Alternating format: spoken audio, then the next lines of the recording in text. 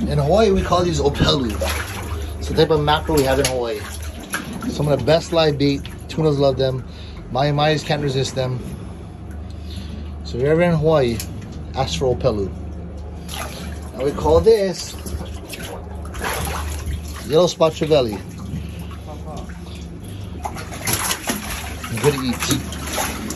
All right, hit the like, hit the subscribe. See you guys on Friday.